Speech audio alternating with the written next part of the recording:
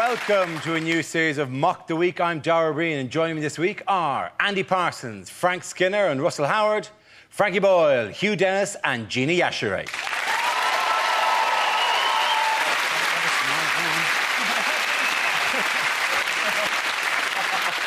We start with a round called If This is the Answer, What is the Question? On the board are six categories. Gina, which category would you like?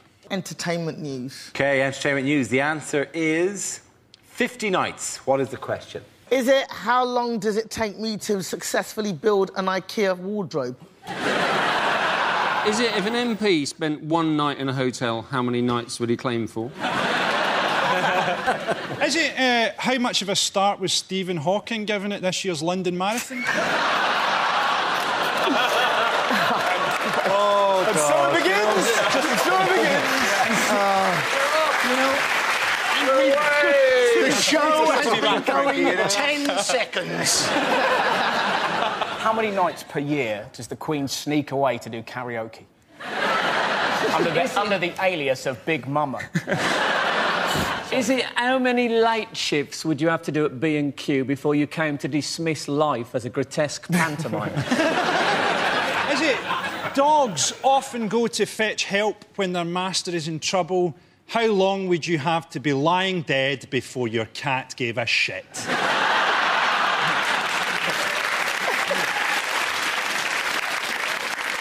How long has Jacqui Smith's husband been sleeping in the conservatory? Is it how long would it take Nick Park to film a Wallace and Gromit porno? Is it Yeah, I like that. Only working at night. How long did it take Lady Gaga to perfect tucking her penis between her legs?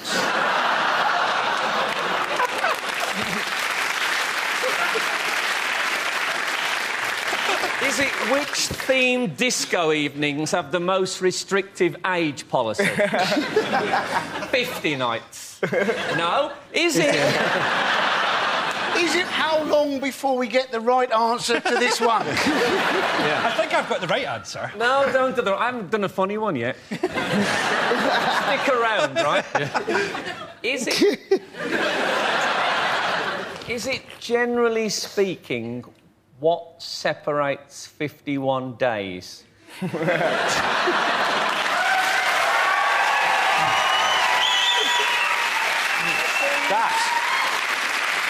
You don't, you don't have to be rude. Is it the number of nights that Michael Jackson was going to play the O2 Arena? It is, of course, absolutely. Thank you very much, Danny. Hmm.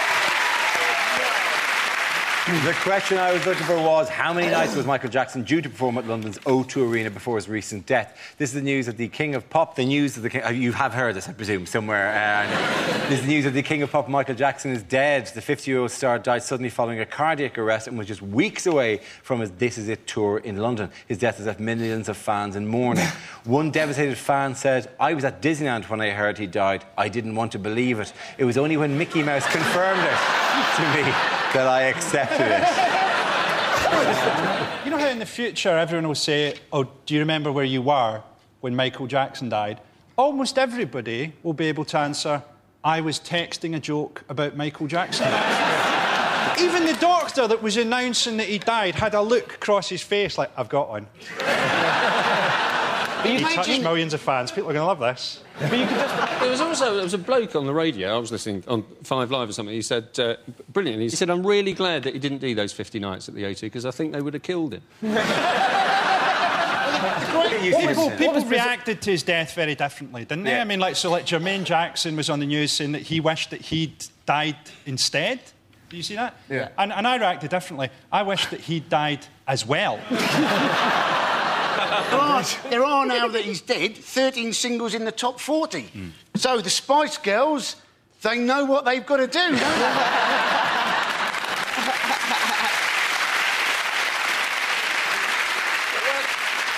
When they found him, they said that he was face down on the floor next to the bed. And they didn't call an ambulance for 50 minutes because they just thought he was looking for the other glove.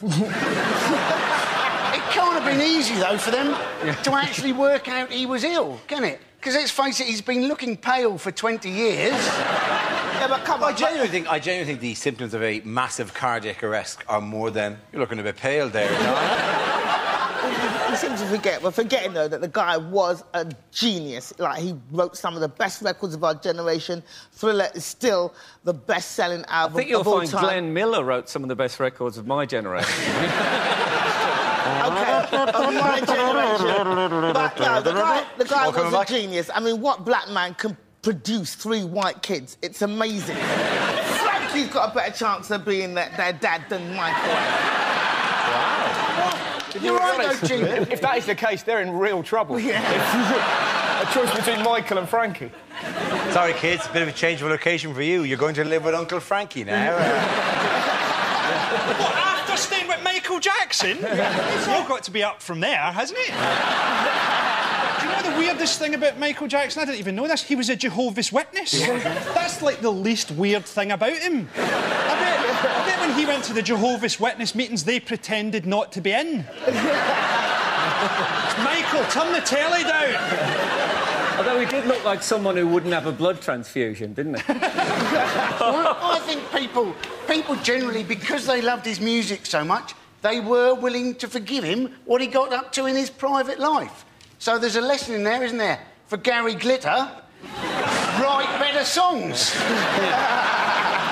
But the memorial had huge number of stars. You know, Stevie Wonder, Mariah Carey, Lionel Richie. Oh yeah, and the kid from Britain's Got Talent. I love it. Hey, they gave Stevie Wonder a seat in the front row. wait, you got to wait 10 minutes for him to walk all the way from the back of the theatre. Next up, Stevie Wonder. Come on, Stevie, we haven't all day here. Right? Stevie's like, I'll be with you in a minute. Uh, weaving his way, in- like in the middle of the row. Is that, sorry, excuse me, sorry, I'm on, I'm on. Like, You know that they said they'd had thousands of volunteers to be pallbearers at Michael Jackson's funeral. I bet they did. Where were they when Barry White died? One of the best stories about this, I don't know if you read this, was that Bubbles has been banned from the funeral He has, because yeah. he's too violent. That's a fantastic story, isn't it? But surely Michael Jackson's dad's going who beat him up for 20 years. And yet a monkey who likes to throw his poo around a bit much. but they didn't even tell him because they didn't want to upset him. He's a monkey! As if, if he sat there going, no, no. You see, I oh, thought- num, num, num. When did we start telling pets? Somebody must have made the decision, like, Michael's dead, somebody better tell the tigers. Do you reckon they'll do that with David Blunkett? If he, if he pegs it, someone better tell his dog. He's gone, David. No. I think the dog, the dog will sense the dead weight on the lead. yeah.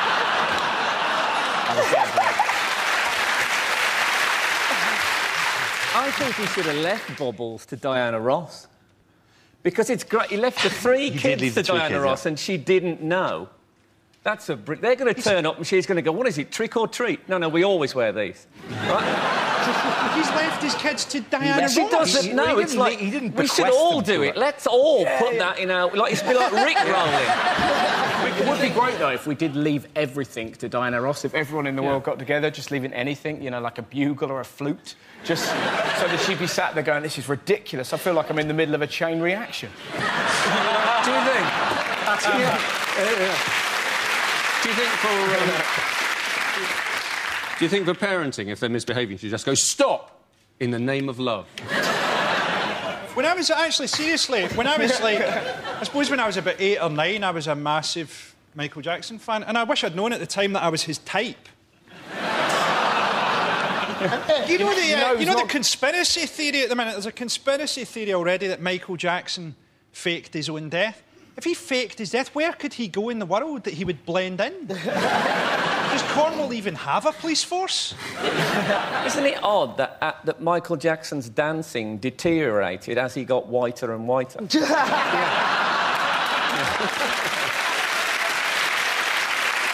At the end of that round, ladies and gentlemen, the points go to Russell, Frank, and Andy. Now we play a round called Don't Stop Till You Get a Laugh.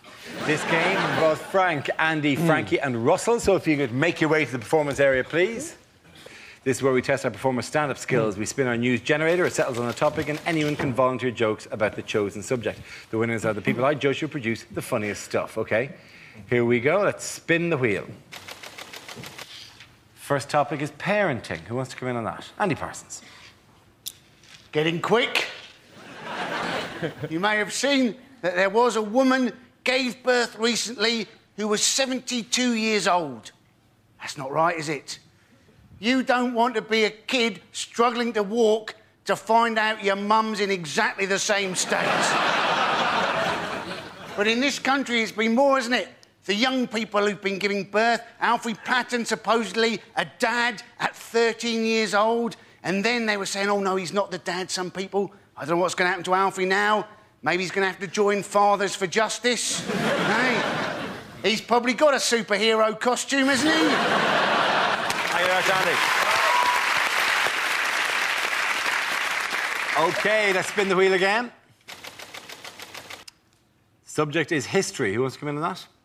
Frank. Let's do it.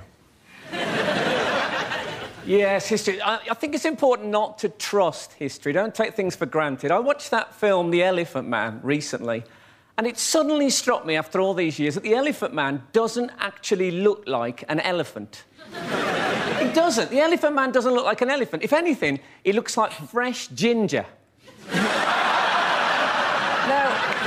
obviously, if you're putting up posters trying to sell a freak show, you can't say, coming soon, the Ginger Man. or people are going to think, OK, they're not the best looking people in the world, but I'm not paying to see one. now you, you, can, you can edit history now, right? They've, they've brought it. Scientists have found out which part of the brain contains your bad memories. And they have developed a drug, you must have read about this, that can actually erase bad memories. It's what Ronnie Wood's 20 year old girlfriend calls the morning after pill. Thank you very much, Frank.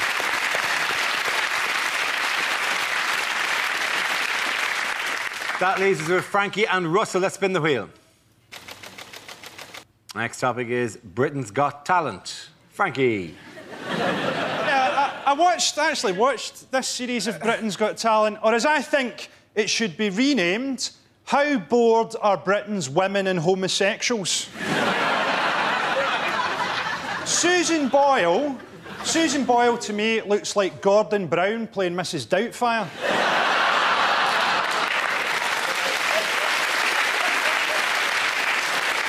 She was on Oprah Winfrey in America and they subtitled her. And people in West Lothian, where she's from, were absolutely horrified, as many of them can't read. she, says, she says that she's never been kissed. And on that evidence alone, Scotland's alcohol problems are not as bad as first thought.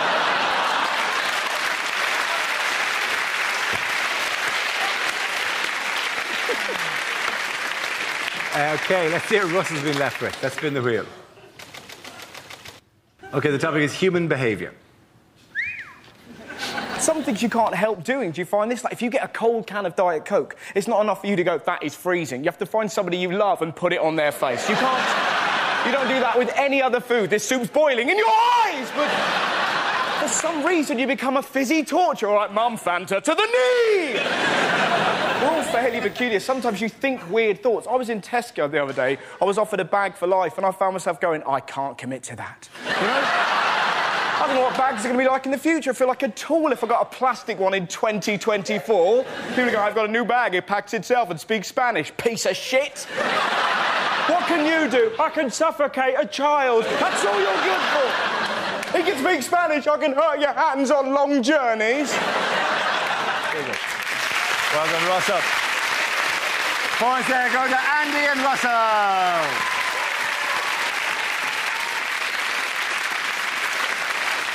Our next round is called Headliners. Here's a picture of Centre Court at Wimbledon.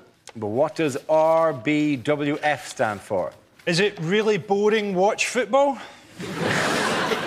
Regular bunch of white folk. Is it? Russin Bussin Winner Federer.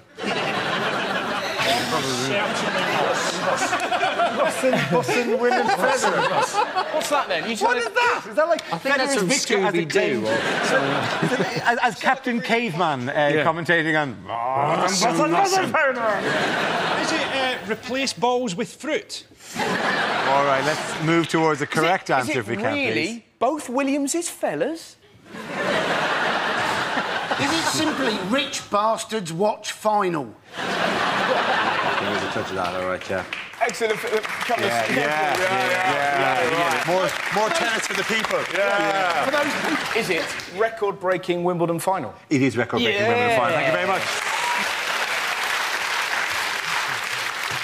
You'll watch this. We Do you, know, do you know the most amazing thing about the final? Tim, Tim Henman commentating on the final. What does he know about it? To be honest, none of us were interested. As soon as, as soon as Murray got knocked out, we weren't bothered. And it was hilarious how fickle we were. We were like, come on, Andy, do it for Britain. Game, set, match, Roddick. You Scottish bastard! Straight away. Andy Murray, I think, is, like we've got to admit, he's a brilliant British number one. Yes. We're not taking anything away from him, but let's not forget the British number two is actually Adrian Chiles. and the number three is just the concept of disappointment. For many years, there wasn't a British number one, it just started at two. Did you see the other British guys that got knocked out in the first round? Some of those guys turned up with snooker cues. I mean, you're right, Frankie, because I, in fact, had two weeks at the David Lloyd Tennis Centre, and I'm now Britain's number six. It's not just Britain that's bad, though. What happened to the lesbians? They used to dominate Wimbledon. Where are they now? Well, I there's like really miss that smell of pipe smoke in the ladies' locker room. What I like about Andy Murray, right, is he's like beyond Scottish. He's like almost translucent. He's like a living porridge. Sometimes, sometimes the sun would strike him in a certain way and he'd cast a rainbow against the scoreboards. No wonder people couldn't beat him. They couldn't see him. It must have been like playing Predator or something. If you, if you watch Wimbledon, I loved it. It was really great because the cameramen this year were proper perverts. Every time a point was played, they're like, right, let's have a look. She will do. It was, did you see? It was one clip where this girl with massive tatty bojangles was, literally jumping in, up and down. Yeah, I saw that. in slow motion going. and, you, and McEnroe actually said, "God damn!" And it was literally the highlight. I, and I have to. I watched. I've not not to be honest, Mike. I watched that in high def, and in in 1080, that was phenomenal. Uh, just- they always cut to the beautiful wife or girlfriend Yes. in the box. They always do that. I wish. I, now, looking back, I'd really tried at tennis and got to this level.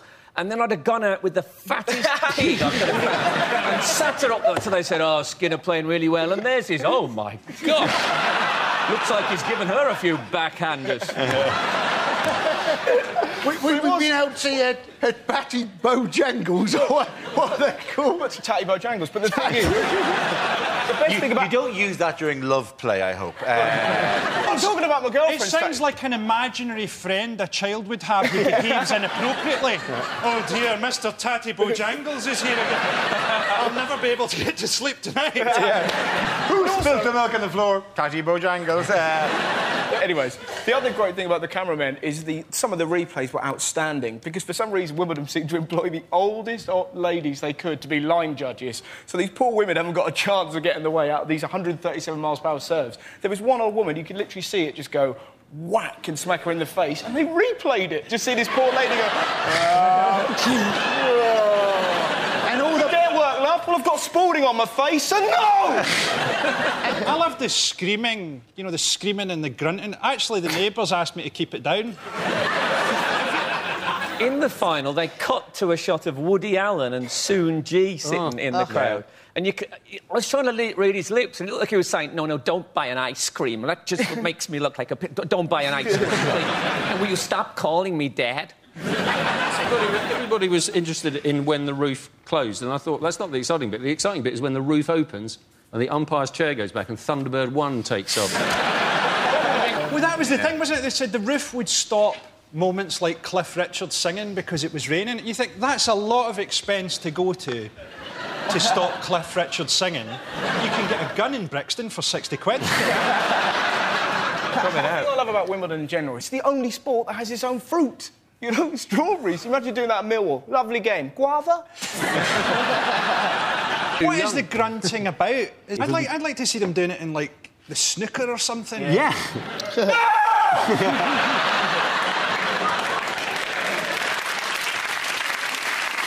Why were royal finances in the news this week? Because uh, the Queen blew all her money on a horse called Thug Hunter.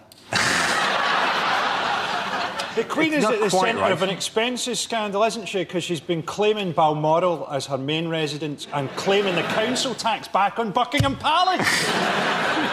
She's still got. Apparently, she lost six million last year, had to spend six million, but she's still got 240 million in the bank. She's not going to turn up for the Christian speech next year wearing a shell suit going, It's been a tough year. Philip got a job writing for the BNP. You think. Although, in fairness, they've taken her eyes, which is a bit. You know, she, she does like she does look like a cartoon character who's seen a sexy cartoon character and I think the Queen could print more money anyway. All- All she really needs is a profile shot and a photocopier. And uh, They say the Queen spent £14,000 on a train journey from London to Liverpool. and that's what happens if you let an old age pensioner use the self service ticket machine.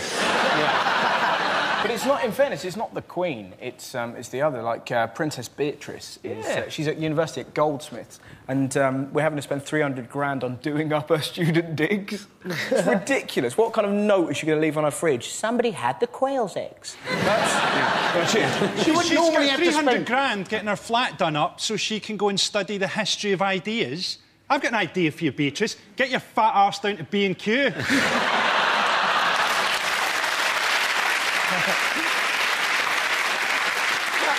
But the, but the, but the fact is, they're, always- they're always getting on about whether the royal family is actually, actually value for money. But at the end of the day, we do get a lot of tourists coming in. If you just go to Buckingham Palace on any day you see the number of tourists gawking at it, I mean, I don't think you can still get the same numbers if they turfed out the royal family and turned it into a giant Lidl. Do we need a royal, we need a royal family to attract American tourists? Have you seen those people? You could attract them with a balloon on a stick.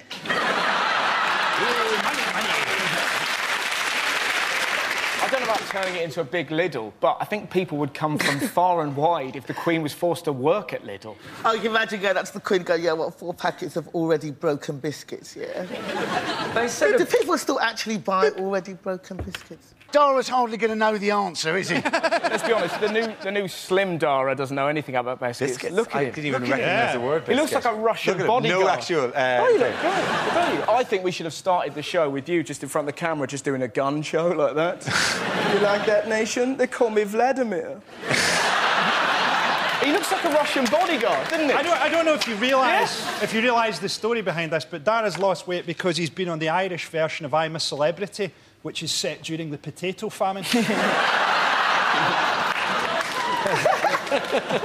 how much weight have you lost, actually? Who, me? Since I've been on here What is it? about two I'm- come on, stone. tell us. I'm not Coleen Nolan. I, this isn't loose women. I'm not discussing weight loss on the show.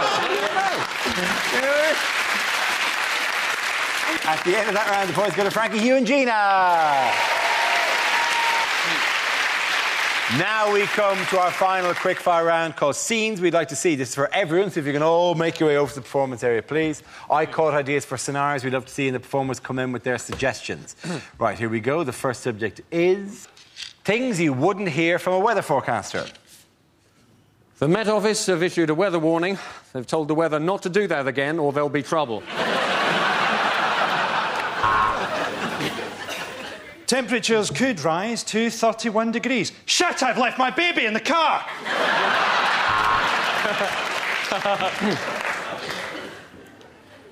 A hurricane tonight will be caused by low pressure and God's hatred of homosexuality. A huge depression over Scotland, and now the weather.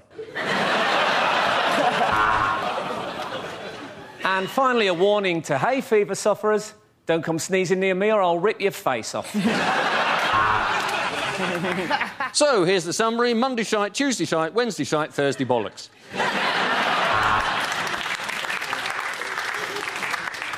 The humidity's rising, the barometer's going low. Tonight, for the first time, just about half past ten, it's going to start raining men.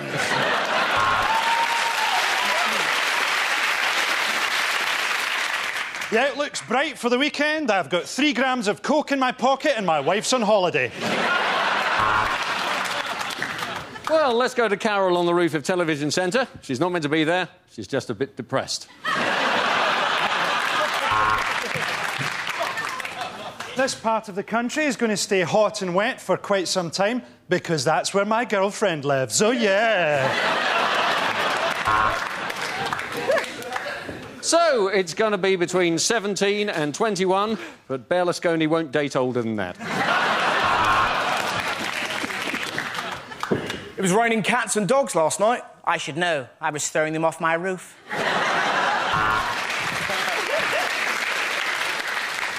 What are you watching me for? Look out the fucking window. It's going to be cloudier tonight. I love those German birds. What do you care what the weather's going to be like? You look shit in all your clothes. The next topic is deleted lines from Star Trek. Kirk to Enterprise. OK, how about if I stand over here?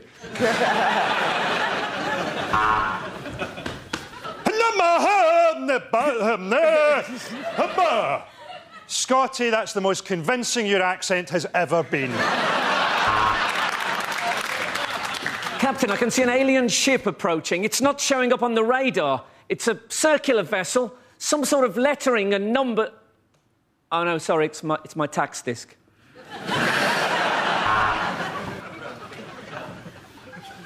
I have no emotion.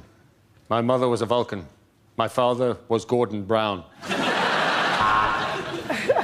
All right, which one of you ate my Scotch egg?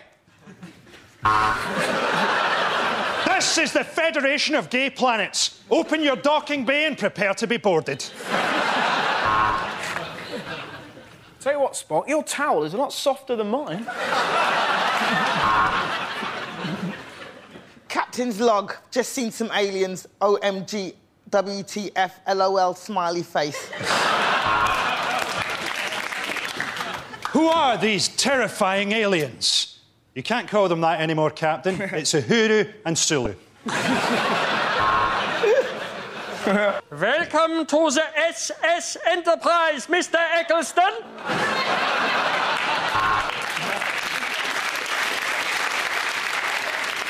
Now, which one of you put your red top in the washing with all the yellow ones? There's going to be some changes around here. They call me Captain Tatty Bojangles. What's wrong, Captain Picard? What's wrong? I'm a serious Shakespearean actor, and I'm talking to the ambassador of the fucking worm people. At the end of that round, the points go to Russell, Frank, and Andy.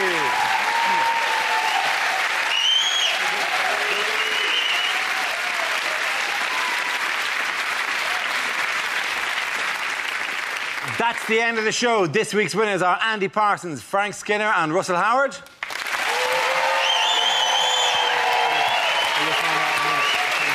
Commiserations to Frankie Boyle, Hugh Dennis, and Gina Yashere. Thank you for watching. I'm Dara Ó Briain. Good night.